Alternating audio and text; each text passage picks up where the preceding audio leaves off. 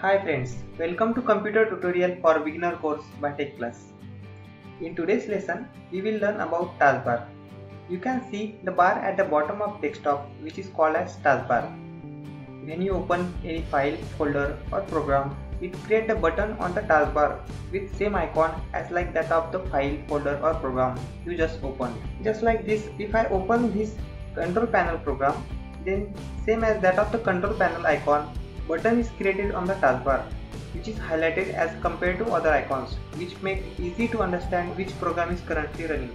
If you want to minimize the program and open another program then click here on the minimize button and it will be minimized to taskbar.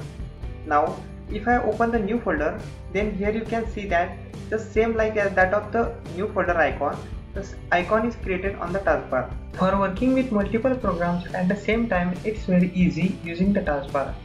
Just like if I want to work with the control panel then click here and control panel come to the front. Now if I want to switch back to the new folder then I will click on this button and here you can see the new folder is came to the front. There is also the keyboard shortcut for that which is Alt plus tab. If I press and hold Alt key on the keyboard and then press tab it will switch to the control panel and if I press it again it will switch back to the new folder. In this way you can easily work on the multiple programs and switch between them using the taskbar. Now if I want to close this new folder then this is the close button. Click here and new folder is closed and removed from the taskbar and also same for the control panel. If you see on the right side of the taskbar you can see the area which is called the notification area. It has the different icons like volume, network and calendar icon. If I click on the volume icon, I can easily adjust the volume of my computer. Also, on the left side, we have the start menu.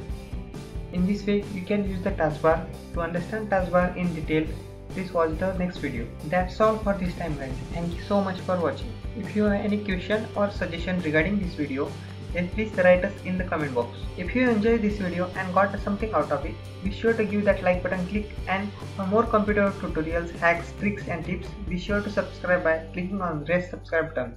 Please leave a comment and I look forward to seeing you inside my next video. Bye bye.